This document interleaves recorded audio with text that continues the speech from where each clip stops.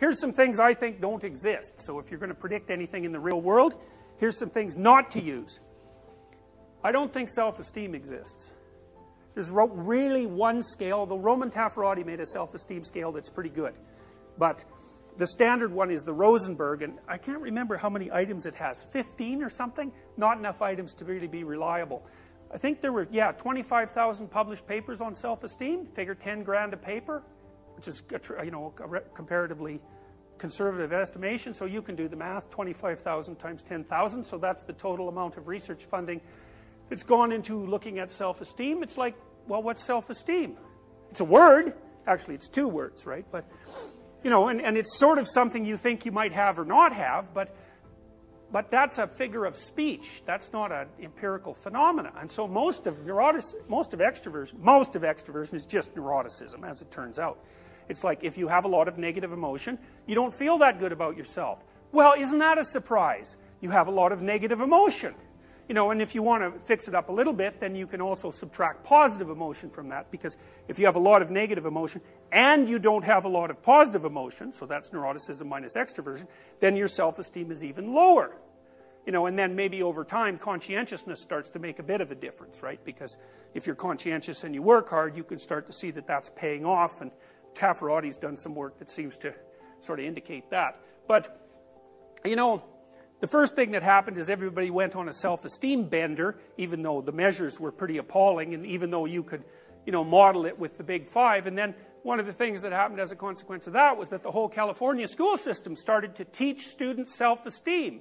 It's like, A, what makes you think you should have high self-esteem? Like maybe you're a miserable little worm. God only knows, right? It's not the case that you should have a good opinion of yourself in every bloody situation. You know, what if you're a bully who pounds people out in the schoolyard? Bullies, by the way, do have higher self-esteem than normal. So they're, because it's not like they're feeling bad about themselves when they pound you, they're feeling bad about you. And the best work, you know, the low self-esteem equals bully hypothesis, lots of people believe that, but if you read Dan Olweus, who's the world's leading authority on bullying and who's actually done something about it, what he says is that bullies have inappropriately high self-esteem, which is why they think they're in a perfectly good position to pound you out if you happen to be on the playground. So it's not like they're suffering from a you know, neurotic weakness of self-image. It's quite the contrary. So anyways, in the California school system, they tried to teach kids self-esteem. And you know, there's no evidence that you can do that first because neuroticism is actually quite hard to shift. So, and if we knew how to treat it, well, hooray, everybody would be thrilled about that, but it's not easy. And second, there are people like, uh, what's her name? Jean Twenge, she used to be a student of Roy Baumeister's, who claims that all that self-esteem training has just, you know, made younger people like you guys more, um, what do you call that? Narcissistic. Yeah, because the self-esteem becomes disconnected from the actual accomplishment, because you might hope well, you'd sort of feel good. How good should you feel about yourself? Well, you know, you might say, well, you should grant yourself the right to exist like you do everyone else. You know, that's sort of like a basic human right. As a human being, you're valuable.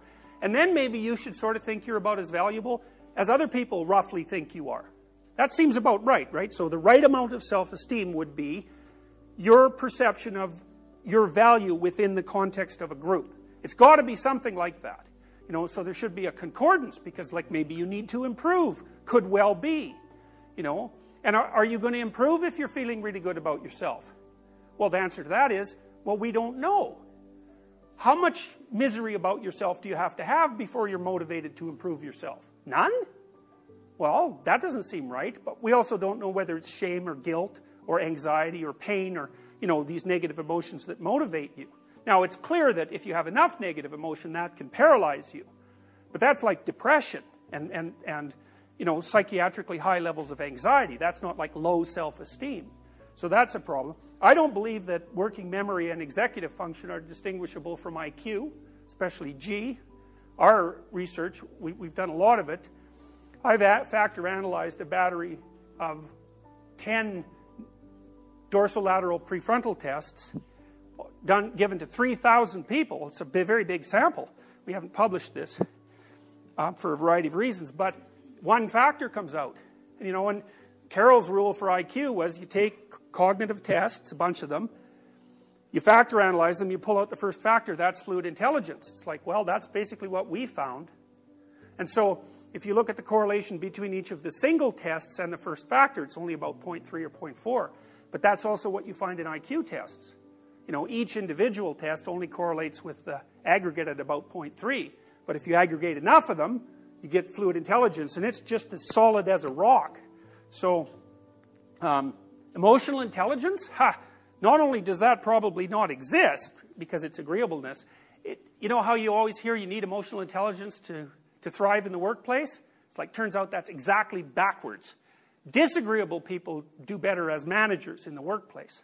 So it's actually, if you lack emotional intelligence, you're more likely to be an effective manager. So an emotional intelligence is a great, you know, indicator of sort of pathology and psychology because it was invented by a journalist. You know, you can't just have some word invented by a journalist and then go make a whole bloody, you know, enterprise out of it. You got to find out if it if it's really there. And there's not a lot of evidence that it is. And what does it mean anyways? Emotional intelligence. What what does that mean? I can infer what you're feeling? Well, is that IQ? Like, are smart people better at that? Or, like, am I mirroring you in some way? Or do I care for you? Like, maybe I can figure out exactly what you're feeling and I just don't give a damn. You know, is that still emotional intelligence? Well, I don't know, right? How would you separate that from sympathy or empathy? And what, and what if you're over-sympathetic to someone? Is that emotional intelligence? Like maybe you feel way too sorry for your children. So it's like you're all empathetic and all that, but you're not doing them any good. Or sometimes you would be, but sometimes you should say, you know, quit whining, go the hell outside. Because that's the right response sometimes. So, these things are not straightforward at all. And of course, emotional intelligence is generally measured with questionnaires. And we know the rule for questionnaires. What's the rule for questionnaires? Hmm? That's right, exactly. It's measuring one or more of the big five, either well or badly. Okay. So, and, and as far as I can tell, that doesn't mean that personality has a five-dimensional structure. I'm not making that argument, because who the hell knows? I don't think it does, likely, although it's very difficult to say. But what the big five theorists have really demonstrated, as far as I'm concerned, is that if you factor analyze questionnaires, what you get looks a lot like a five-factor structure, and you can do that cross-culturally. And so I think we sort of nailed the question of how are questionnaires structured. So you can't just invent some new thing and term it something and then pretend it's something new without testing it against. And I would test it against IQ because that bloody thing. We know, for example, IQ eats up most of the variance in disgust sensitivity scales. You'd think, well, why? Why would IQ be related to disgust sensitivity? It's, it's inversely related, by the way. The smarter you are, the less sensitive you are to disgust. Now, I don't know if that's because maybe your cortical inhibition of underlying, like limbic limbic motivational systems is better? Who the hell knows? We don't know why, but we do know that it's a major predictor. Orderliness also predicts. But the thing about IQ is that it predicts things that you'd never expect.